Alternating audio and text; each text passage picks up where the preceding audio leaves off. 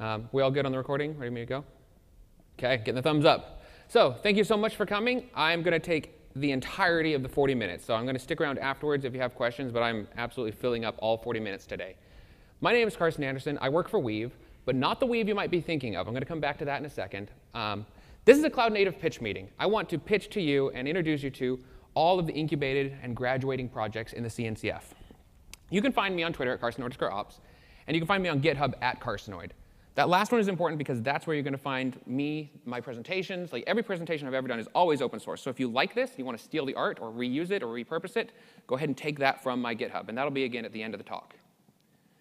Like I said, I don't work for the Weave you might be thinking of. I'm just going to quickly tell you about my Weave. My Weave is an end user, and we are not the cloud native Weave. We are a small business communication toolkit, and we use a lot of the products. And I bring this up because I'm not pitching Weave to you. I am really grateful for them to have me come here and sponsor me, but I am, everything that we use is open source under the CNCF banner. And also, it's still June, so I'm switching that logo.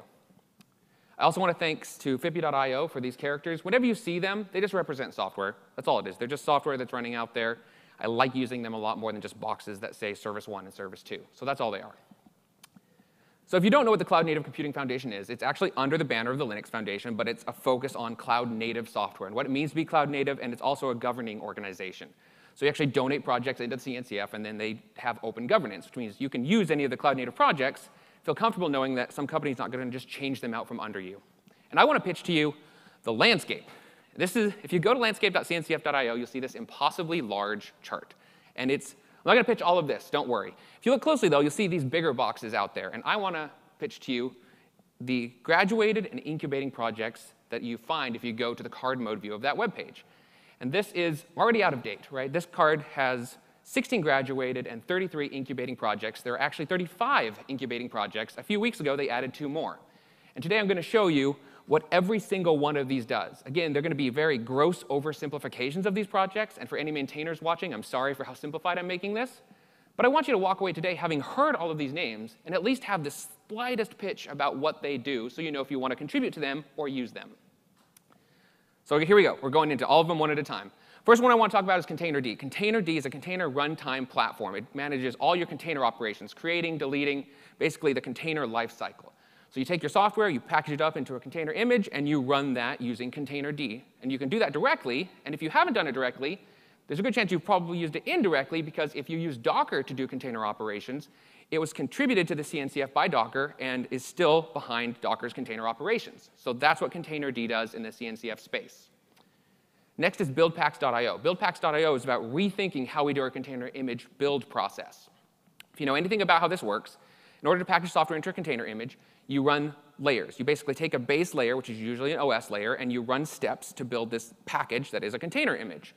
Problem with traditional building is if you change the base layer, like update your OS, you have to rerun all the steps above it. Or even worse, if you use best practices, or if you don't use best practices, you can sometimes have your base layers change and you subtly or maybe explicitly break that image, and it's not super reliable. What buildpacks.io is trying to do is rethink the way we do our container image build process so you get repeatable, knowable builds. And one really cool feature I want to call it specifically is that they can actually swap that base layer to allow you to get updates without rebuilding your whole image, which can be huge if you have a lot of images to manage. So if you want to rethink how you do your container image build, you should check out build artifact. Um, but again, it's just kind of a standard and specification in the update framework. What you probably would use instead of using Tuf directly is Notary. Notary is a reference implementation and actual tools built on top of Tuf. So again, you can distribute artifacts like packages or files and verify their provenance and basically know you're getting it from who you expect. And it even has first-class support for things like container images. So several of the things we talk about today that help you get securely distribute your container updates, you do through tools like Notary. So that's what Notary does.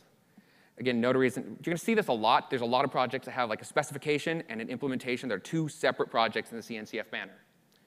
Next is Harbor. Harbor is a private image registry. So you run Harbor on-prem or in your own infrastructure, and you upload your images to it. Once you've got it, you've got all the things you might expect, like signing and verification of images, or inspection and kind of listing and management of all the images in your private registry. It has one really cool feature as well, where you can act as a pull-through registry, so that when you run Harbor on-prem, if you need to fetch an image from a remote registry, it can cache it and really save you a lot of bandwidth by using Harbor just as this cache, as well as your own private registry. So that's what Harbor does in the ecosystem. Now, of course, I can't talk cloud native without talking Kubernetes. Kubernetes, you don't have to be in Kubernetes to be cloud native, but it's really, really common, and a lot of the tools in the CNCF and the ones I'm going to talk about today build on top of Kubernetes as a platform. Kubernetes at its core is a container orchestration platform, right? So you have a fleet of machines, and you tell Kubernetes, hey, I want to run a workload uh, with some specific configuration. And it puts it somewhere in your ecosystem. In Kubernetes, we call these nodes, and it just finds a place to put your workload. And of course, you can do things like scale up, and you can have Kubernetes run lots of different kinds of workloads, and you get to stop kind of worrying about nodes. If they go away, Kubernetes knows how to bring your and state, state seek and bring your infrastructure back up, or it can scale up and redistribute. It really allows you to run your product without thinking about the nodes anymore. In fact, most of the time, I'm not even going to show you the nodes when we talk Kubernetes. I'm going to show you the ship. So for the rest of the talk, whenever you see the ship, or if you see Captain Kube, that's referencing Kubernetes as this larger platform that we really can use directly, but also build on top of. What I mean by that, too, is that Kubernetes is great on its own as a container orchestrator, really powerful just out of the box, but there are a lot of touch points where you can extend and expand Kubernetes to better meet your needs or even build whole products on top of it. Talking about custom storage, custom networking, custom resources. This is really important. I'm going to come back to that. Or even extending the Kubernetes API and taking a whole chunk of the API and processing it in a totally different way. Really powerful stuff. I said I wanted to talk about custom resources some more because these are incredibly important in the Kubernetes space. We know that we can create nodes, and we know we have pods in the Kubernetes ecosystem, and there's a bunch of other things, but you can also create things called CRDs. CRDs stand for Custom Resource Definition. And what that is, is essentially saying, OK, Kubernetes API, I know you can handle nodes and pods and all these other objects out of the box, but I want you to understand what maybe a Weave service is. I want you to understand what a SQL instance is. And you can use the entire power of the Kubernetes API to operate on basically any document that you want to define and manage. A lot of tools use this. You're going to see the CRD come up a lot. And just understand when you see this icon, it's the entire power of the Kubernetes API managing anything that you want to describe. So again, that's Kubernetes. I'm going to bring it up a whole lot more because a lot of CNCF projects build on it. Um, and we'll just keep going. One of the projects that does a great job of basically using every single one of those Kubernetes touchpoints that I've talked about is Knative. Knative says, OK, Kubernetes is a fantastic low-level infrastructure. You've heard it referred to in the past as the assembly language for the cloud.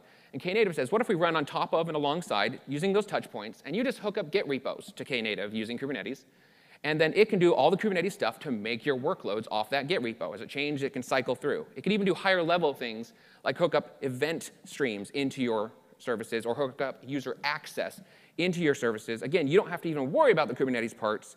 You just sort of hook Knative up to your Git repos, and it does the rest. So again, a whole platform built on top of Kubernetes and Knative. Next is Volcano. Volcano is another Kubernetes kind of extension where you're trying to take normal Kubernetes and add new features onto it that the Volcano team supports. So you run it alongside your Kubernetes cluster, and it adds these higher level abstractions that aren't in bare bones Kubernetes. Things like batch scheduling, machine learning and deep learning, or even big data. Again, all these concepts that can happen in Kubernetes, but Volcano abstracts and manage that for you so you can build those kinds of things into your Kubernetes cluster. Next is KEDA. KEDA stands for Kubernetes Event-Driven Autoscaling, and it's sort of what you might expect. Now, in standard Kubernetes out of the box, we can make this thing called a horizontal pod autoscaler. It's just a Kubernetes resource and thing you send to the API. And it watches your workloads, and as they increase in usage of things like CPU and memory, it can scale those workloads up and down as necessary. Works really well for the, things like that. But if, what if you have to scale based on queue depth? What if you want to maybe even scale to zero when a queue is empty to save capacity? Normal horizontal pod autoscalers kind of fall down on this. They just don't work very well for that. What does work well is the KEDA project. Again, just an extension, can even run with normal HPAs, but it allows you to make a custom resource in Kubernetes that hooks up to your pub sub metrics and lets you do auto scaling for your workloads based on pub sub data, including, like I said, scale to zero when your queues are empty and there's no work for the processes to do. So if you're doing event-driven architecture in Kubernetes, you should check out KEDA. Next is Backstage. Backstage is really interesting in the CNCF space because it's the only graduated or incubating project that's really front-end focused. It's a front-end project. So you've got your services, and modern architecture has a lot of services. And each service has things like API specifications, alert configuration, docs. Some of these may have some and not the other. Sometimes for a modern service, you have to go to four or five different websites just to find all the information about one service. Backstage says, well, okay, we're not going to do all of that, but we're going to provide you a robust platform where you put plugins into Backstage and essentially build a front page for your infrastructure, for your developers to manage their service, where we aggregate all that information into one place and really give you this kind of service registry and this service view for your developers. So if you're curious about that and how that works, you can check out Backstage. Next is Helm. Helm is a Kubernetes package manager. What I mean by that is we know that we can run our workloads in Kubernetes. I always show them as these boxes, but they're really this thing called pods, which are just collection of containers that you run in Kubernetes. But you can make, like I said, a bunch of things. And this is just scratching the surface of the kind of things you might make in a Kubernetes cluster. And it's a combination of all of this configuration put together that really makes a, th a thing installed into the Kubernetes API. And what Helm lets you do is kind of take that configuration, package it up into a Helm chart, and you can send that chart to Helm, and it will manage it in Kubernetes for you. And this is pretty great for running your own software, but it's really fantastic to take that Helm chart that you've built for your software or your product and send it to other users to put into their Helm installations. In fact, most of the time when you install almost any of the other stuff that I've talked about up till now and going on that goes into Kubernetes, there odds are really good you're going to use a Helm chart to install that in your cluster. It's the de facto package manager for Kubernetes. Not the only way, but a really great way. Next is the Argo project. Argo I want to specifically say it's the Argo Workflows project. There are several projects under the Argo banner, and it's the Workflows project that's in the CNCF. And it's all about workflows, right? And workflows are just a series of steps we're going to execute from A to B. They might have some fancy features like retries or conditionals or even kind of fan in and fan out to distribute work. And in the past, workflows have kind of been limited because they're single process, single language, sometimes single threaded. And Argo said, well, what if we could do all this workflow stuff but what if every single step was a Kubernetes resource, right? Then you can or orchestrate your workflows as pods, as cron jobs, even as custom resources that can do anything you need to do, and really use the whole power of the cloud to do your workflows, not just a single language or a single machine. So if you're interested in powerful workflow engine using Kubernetes, you can check out Argo. Next is Flux. Flux is a Kubernetes deployment platform and sort of like uh, Helm, except for what we're doing Git ops here. So you define a Git repo, you put all of your Kubernetes configuration of what you want in your cluster in the repo, and you can then use Flux to apply that Git state into your cluster. And Flux watches the repos, and as you do Git operations against them, it syncs that state into Kubernetes and really enables you to manage your cluster as code, which is a really fantastic way to manage anything in Kubernetes. So if you're curious about doing that, you should check out Flux. Next is the operator framework. This is a series of tools about building and managing the entire life cycle of a Kubernetes operator. If you don't know what that is, Kubernetes operator can be thought of as an engine. It runs inside a Kubernetes cluster alongside of it, and it talks to Kubernetes API. And its job is to watch for things in the cluster, like a CRD being created, for example. Say, oh, I'm supposed to do some stuff when that gets created to seek state for you. And if you make a different CRD with some slightly different configuration, it'll again operate on that, and it'll maintain the updates and deletes. And it kind of manages the whole cycle of managing things like CRDs. And of course, it can do anything in the Kubernetes API. But that's what an operator is. And a lot of things we've talked about so far have been operators behind the scenes. And again, it's all about leveraging the power of these CRDs. You have to have something watching the cluster, waiting for the CRDs to get created, and then operating against them. And that's what operators do. And the operator uh, SDK and the operator framework are a fantastic way to build and manage these operators. Next is Crossplane. Crossplane is really great. It's sort of, again, taking the Kubernetes API power and extending it to everything. So you run Crossplane in your cluster, and Crossplane has a big suite of providers that allow you to create Kubernetes custom resources to define basically anything in your infrastructure. So you've got on cloud, you've got on-prem, and you can create a Crossplane CRD that lets you make a VM in the cloud. You can create a Crossplane CRD that makes you make a SQL instance in the cloud, or even make hardware resources. I'm only showing you three examples, but basically, anything that has an API can then be integrated into Crossplane, or there's probably even already a provider in Crossplane that allows you to manage your entire infrastructure using the Kubernetes API via Crossplane. Next is a twofer. I'm going to briefly talk about why I'm doing two at a time here. You'll see this a few times. CNCF is not about picking winners. Both of these projects fit into the same space in the ecosystem. CNCF is about governance and openness. As long as two projects that fill the same gap are open and well-governed and contributed to the CNCF, they can absolutely be there. We're not picking winners. So both Emissary Ingress and Contour are Kubernetes ingress controllers. What I mean by that is we know we can run our workloads in Kubernetes, but if you want to route user traffic to them, you make these resources called ingress routes. And they're basically just configuration saying, hey, if you come into the cluster for at this specific host and path and a whole lot of other config, um, here's, how, here's where I want you to go based on these conditions. But something has to run in the cluster and make that true. Something has to listen for user traffic, read configuration, and route to the right workload based on all the config that you have. This is where both Contour and Emissary Ingress live. Said this is what's called a Kubernetes ingress controller, and you can actually even run both of them in a cluster at the same time. You don't have to even choose one. They both just kind of fill this space. So if you're interested in that, um, one really cool thing about both these projects is that in the past, ingress controllers were legacy web servers that we kind of backwards hacked into loading config regularly and being filling this space. Both these tools were built from the ground up to be Kubernetes ingress controllers. So they're a fantastic choice for that. Next is KubeEdge. KubeEdge is all about dealing with edge compute and Kubernetes, like you might guess. So you run KubeEdge in your main cluster, and it allows you to manage edge nodes or edge devices or edge workloads and kind of takes care of some problems that the core Kubernetes isn't trying to deal with. So if you have unreliable connections or you need to limit your bandwidth with your edge compute nodes, KubeEdge has a lot of tools to help you deal with that. So it really extends Kubernetes all the way out. And that's KubeEdge. Next is KubeVirt, also a very single-purpose project in Kubernetes land. Now, we've already talked a lot about Kubernetes workloads and pods, and I said you run containers in pods. Run one or more containers is a pod. But what if you need to run a VM as a Kubernetes workload?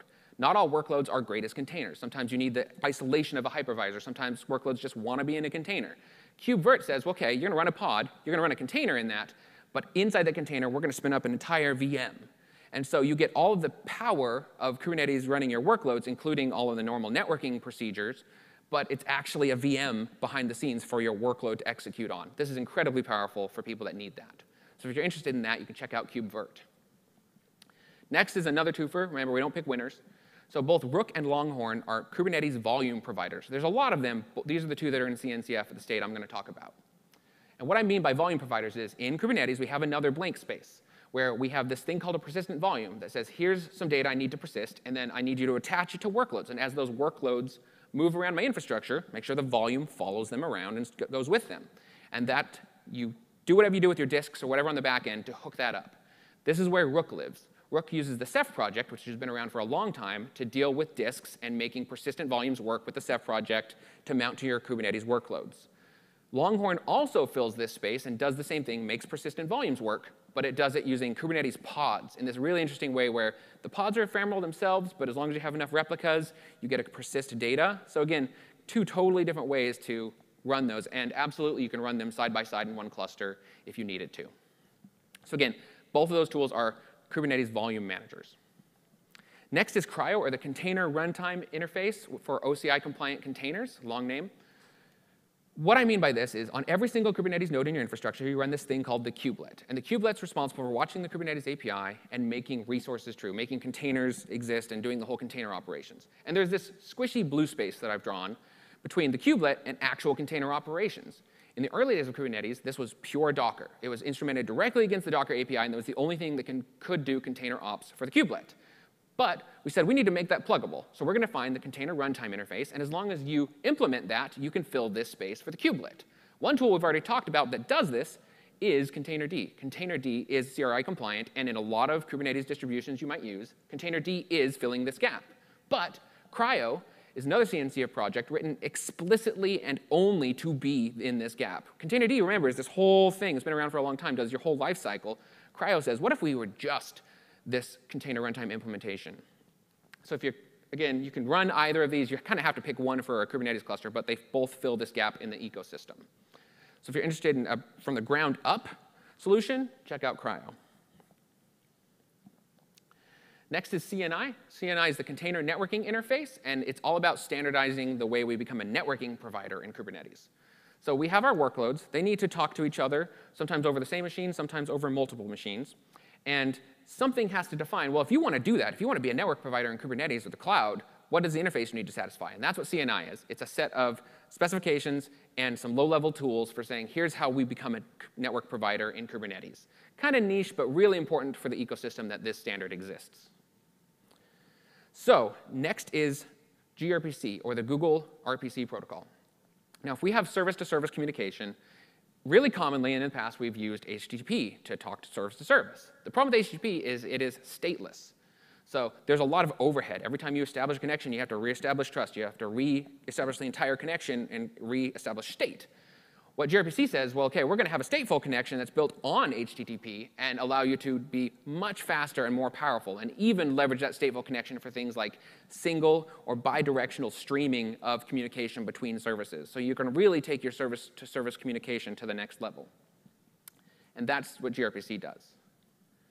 Next is Core DNS. Like you might guess, Core DNS is a DNS provider in the CNCF, but it's, it's a modern one. And what I mean by that is if we think about DNS, it's really at its core is our oldest service discovery mechanism, right? You say, okay, I need to go to somewhere by name. Where do I need to go? Where do those instances live? Core DNS is kind of built for the cloud to solve this problem, and we, I'll tell you why we need that in a second. But Core DNS its power is that it's incredibly pluggable. This diagram is explicitly very empty because it's just built on its plugin system. So you've got plugins for all sorts of different ways to serve DNS resolution. You've got all sorts of plugins for ways to get to DNS configuration and to modify that, all of them combine and kind of control that process. The reason I say we need this is because old DNS systems were really not good at changing DNS records multiple times a minute or second. Like they just weren't built for that, where Core DNS really is built for these very active constantly changing configuration like Kubernetes or public clouds. So if you um, are running Kubernetes, there's a really good chance, in fact, it's pretty much the de facto standard default DNS server for Kubernetes now, although you can absolutely take Core DNS and run it yourself as a more modern DNS implementation. Before I go to the rest, I need to talk service mesh. A just very two-minute service mesh talk so we know what the rest of the projects and how they fit in. So if we've got our services talking to each other over the network, and we want network level features, things like end-to-end -end encryption, transparency, tracing, short-circuiting, you have to write that in every language every time and hope that you do it in every language every time correctly in order to get those features. What a service mesh says is, well, what if we write this proxy process? I always draw it as a box because I think of it as kind of enveloping the process, though really it is just a sidecar process that there's some network magic to intercept the traffic. So that sidecar can do all of the complex network work regardless of the language of the service that it's being put in front of. Once you've got a sidecar, you need a control plane. Control plane sits and configures the sidecar and tells it what to do. And by combining all these proxies doing exactly what the control plane says, you get a service mesh. And once you've got that, you get things like metrics, you get things like load balancing or the end-to-end encryption and transparency I talked about, or even automatic distributed tracing. Again, that's what you get out of service mesh and a lot more. Linkerd is a CNCF project built to be a service mesh, and it's incredibly easy to get up and going and maintain. It's a fantastic full-featured service mesh project. So you get both the Linkerd2 proxy process in the Linkerd project, and you get the Linkerd2 control plane and again, this is very easy to get up and going and using all of these features I've talked about through Linkerd. So if you're interested in a full-featured service mesh, you should look at Linkerd. Next is the Envoy process. Um, Envoy is sort of like Linkerd, but it's more narrowly focused. So Envoy is just the proxy process. It says, OK, this project's not trying to pick. If you're wondering where the control plane is, there is no control plane. It's up to you to choose what the control plane is. This might seem like a downside, but the fact that the Envoy team just basically says, we're going to be the best, most configurable, most general purpose, usable proxy that we can be, we'll leave it up to you to implement the control plane part. What's fun about this is we've already talked about two kind of micro control planes that use Envoy. They don't use it to do the service mesh whole thing, but they are using its network capabilities. So if you use Emissary or Contour, both of those are just really like single purpose, specialized control planes. They use Envoy to do all the network work because it's complicated, and they want to let Envoy do the complicated part. So again, if you're interested in that kind of like low-level network operations, you don't have to write yourself, Envoy. I'm putting this in with the service meshes because it kind of is, although it doesn't work in the same way. Dapr kind of solves some service meshy problems, but in a different way. Rather than try to do network magic, you run a Dapr sidecar next to every instance of your services, but they implement directly against the sidecar API. So it's not transparent, it's explicit. You talk to Dapr and say, Dapr, I want you to get me some pub sub events. I want you to get me secrets. I want you to get me state. And all of that is handled by the sidecar so that your services can be really simple and even move them between clouds or different kinds of providers at the top level here. And Dapr will do that work. The services just implement against the very stable, standardized Dapr API. So again, you get service meshy things out of this project, but it's not as much magic. Next is another twofer. Both of these projects, Chaos Mesh and Litmus, are chaos engineering tools for Kubernetes, like you might guess. So if you've got a Kubernetes cluster and you want to see what happens maybe if a node fails or if a network link gets bad, you can do that. Both Chaos Mesh and Dapr allow you to create CRDs in Kubernetes that say, simulate this failure, make this failure happen. I'm going to record what happens, and we can see how we respond to that failure. make a node go away. Let's see what happens and see how a system responds to that failure. And they track that and, and report back so that you can make sure your systems are resilient and handle these kinds of failures. So if you're interested in chaos engineering for Kubernetes, these are both great options. Next is OpenTelemetry. OpenTelemetry is all about dealing with standard way to instrument tracing and logs and metrics into your applications. I'm really going to cover tracing, but it does also logs and metrics. So if we've got a user, that user talks to a service, and that service talks to another service, right? We can we want to trace that, and especially if it goes four or five levels deep in our infrastructure, we want to see where that request goes to get satisfied. Even better, we need to instrument our code to track the trace as it bounces around between our methods so we can see how long it took at each part of the code and follow the entire path of the request to debug problems or performance issues. And you need to instrument your code to do this. In the past, we've always instrumented our code with vendor-specific tooling, which makes it very hard to go to a different vendor with our logs and metrics and traces. But if you use OpenTelemetry and your vendors follow the OpenTelemetry standards, then you can instrument your code once and ship it anywhere, which is really, really fantastic way to kind of turn the way we do um, instrumentation of metric data into OpenTelemetry. One place you might ship your traces from OpenTelemetry or another tool is to Jaeger. Jaeger is a trace aggregation management platform in the CNCF. So again, we've got all our services tracking our, or maybe even our service mesh kind of tracking our traces, and they need to send that data somewhere so you can view it in one place even though it came from lots of sources. That's what Jaeger does. Jaeger receives all of your trace data and aggregates it and allows you to then take it and view things like heat charts to show you how long it spent at each part of and what places it went through your code base and your infrastructure. And then you can, of course, get all the stats and searches and other stuff on that data, or even use Jaeger's API to use that trace data in really interesting ways. We actually use a lot of our trace data to kind of map out some dependencies because here's the history of what we actually have done based on the stuff coming out of the Jaeger API. So that's, these are your real life dependencies you've used recently. So again, that's what Jaeger does and so much more. Next is Prometheus. Prometheus is kind of cloud native metrics. What I mean by that is we've got all our services running in our infrastructure, and they generate metric data. They generate a ton of metric data, right? They're, how many requests have come through, how many were good, how many were bad, memory, CPU used.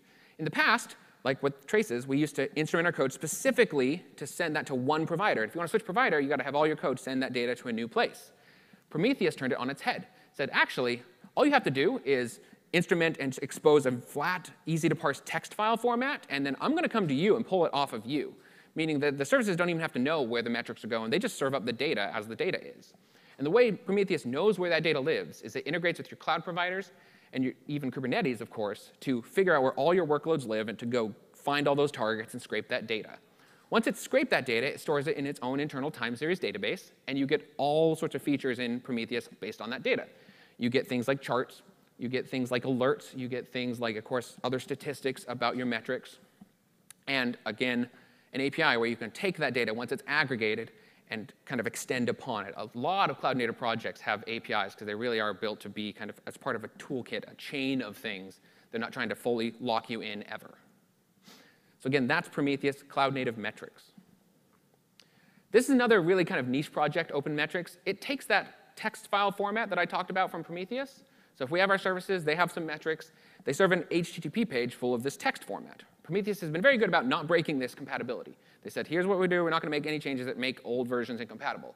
OpenMetrics says, OK, we're still not going to break compatibility. We're just going to go a little bit farther to be a bit more specific. So if your OpenMetrics standardized, you've solved a couple edge problems while still not being backwards incompatible with Prometheus.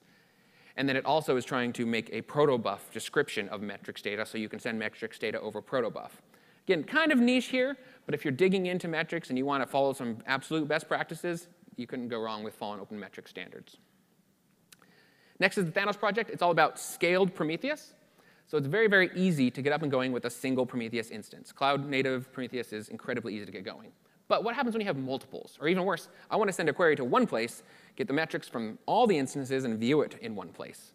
That's what Thanos does. It's a set of tools that allows you to basically wrap other Prometheus instances, and you can send one query and go to the Thanos dashboard or whatever you need, and it will aggregate that amongst all the Prometheus instances it knows about and bring that back into one view. So even if those clusters are geographically separated, or if you need sharding or replication, Thanos allows you to handle all of that.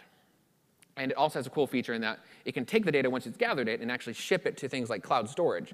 So you can get longer term metric retention because Prometheus doesn't really want you to have long term retention, but Thanos can enable that and so much more. So if you're looking for high scale Prometheus, you should check out Thanos. Next is the Cortex project, also dealing with multiple Prometheus instances, but a totally different way. You set up Prometheus instances to send their data into Cortex as a system, and it stores it on its internal data system. And then you can still go to Cortex for that single view, but the Prometheus instances really just act as very, very fancy data sources into the Cortex system. But it's really what it's built for. So if you're looking, again, for high-scale data or distributed Prometheus management, you could go with either Thanos or Cortex. These are both great projects for that.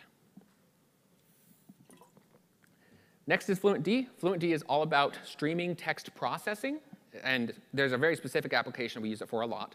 But at its core, it's allowed to basically set up to a bunch of text data sources, including constantly added, removed, and changed text sources, and it reads them as they come through, and it processes them however you need it to, and can ship them out to one or more new locations, which seems kind of basic, but it's really powerful. It really handles a high scale of text processing. One fantastic use case that you may not use directly, but you probably used indirectly is in Kubernetes. All of our workloads, all our containers are generating log data. Log data, at the end of the day, on the server is basically just text files we constantly append to and sometimes cycle out. And so if you're running Kubernetes and you need to get all of the logs from all of your nodes and containers into one central system, you can do that with FluentD, and the odds are pretty good. If you use a Kubernetes managed platform and you're getting centralized logs somewhere and you're looking at that single page, that single page probably got logs from FluentD. Like I said, you can absolutely use it directly if you just need massive text processing that's really highly configurable and pluggable. Next is Vitess. Vitess is a relational database management system that's for the cloud, but really, really great for Kubernetes. So it's pretty easy in Kubernetes or the cloud to run a SQL instance. But you need to scale those vertically, right? As you get bigger and bigger data, you just keep going up. And this becomes hard to manage and really vulnerable to failure. It'd be great if we could scale horizontally. Being cloud native is scaling horizontally. What you can do, though, is use Vitess to basically handle replicated and sharded databases, but not know it. So you run just regular MySQL or MariaDB instances, you run these Vitess layers on top, and they provide powerful features like replication and sharding out of the box. And you're worried about, well, how do I manage those replicas? Vitess also has a proxy process where you can just configure endpoints to go to that proxy endpoint through both SQL and even gRPC, and it does all the work to figure out where all your shards and replicas are. So again, you can send one statement into the proxy, and it does all the work to kind of abstract away the database into something that it manages for you. This makes it a really great solution, like I said, for running relational databases in Kubernetes, but you can definitely just run it anywhere. Again, that's Vitess, a modern cloud-native way to handle relational databases. Next is TiKV, or Titanium Key Value. This is a key value store, has all the things you might expect, adds, updates, deletes, the great thing about TiKV, though, is its scale. TiKV, according to their docs, scales up to petabytes of key value data in a single installation. That is massive amounts of key value data. It even supports ACID compliant transactions.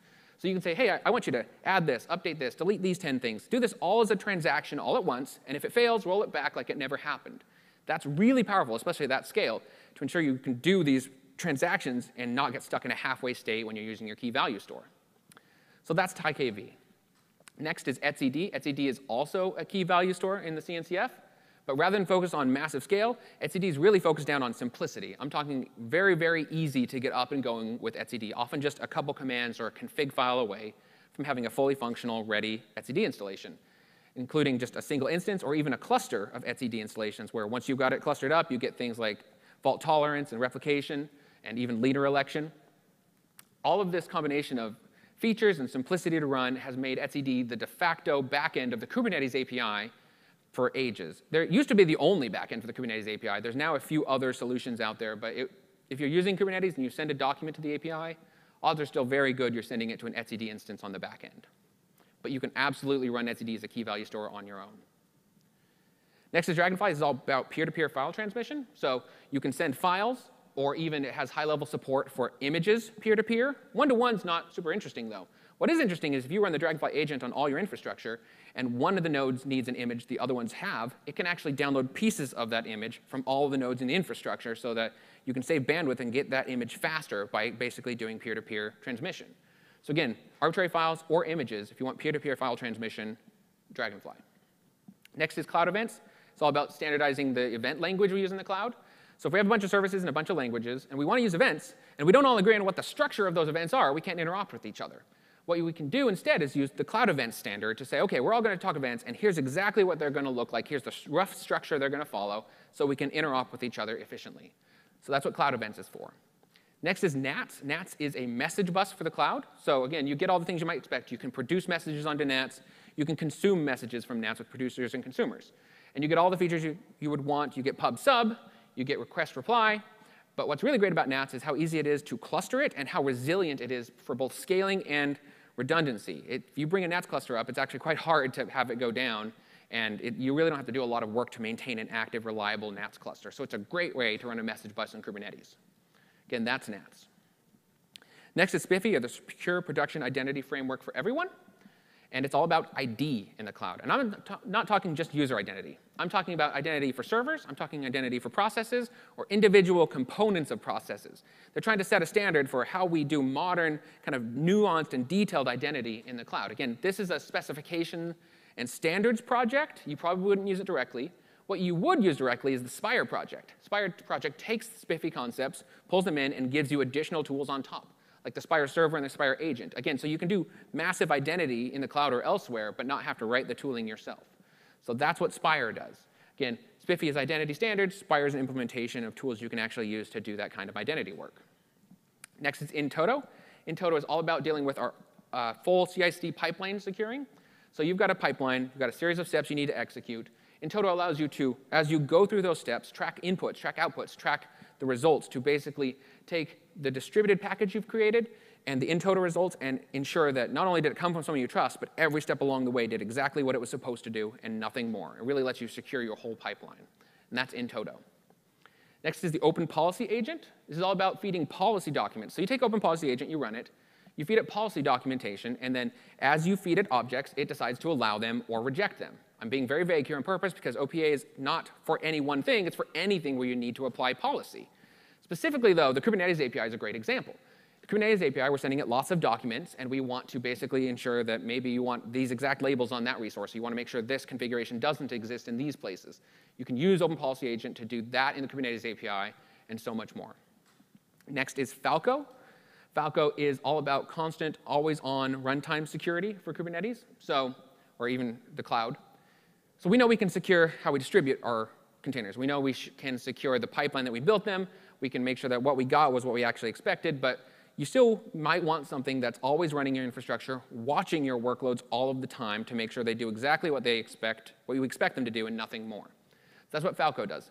Falco runs in your infrastructure. It watches all of your processes actively, and it's got rules that say, hey, you're supposed to do this and not that. If you do something that you're not supposed to do, like access a database I didn't expect you to access, I'm going to send an alert and we're going to respond to it. This is basically, again, always on security for your workloads. And that's what Falco does.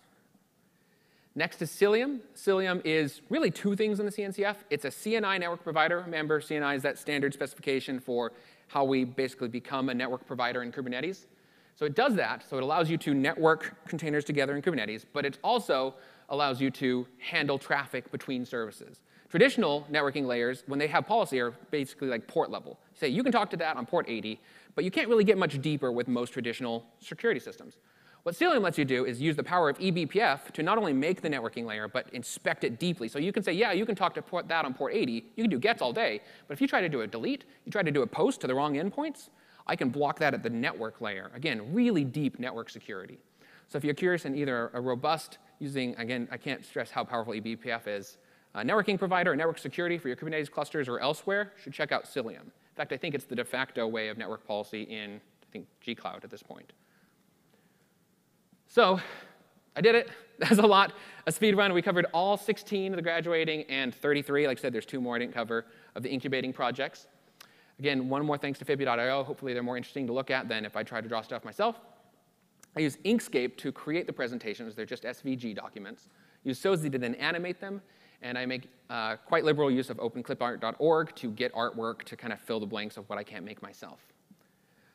Last time, uh, big thanks to Weave. Check us out if you're curious about what we're doing um, at getweave.com. My name is Carson Anderson, Carson underscore ops, and absolutely go to my GitHub.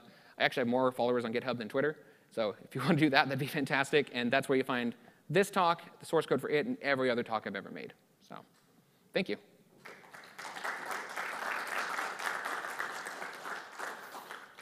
And I think we're right exactly at time.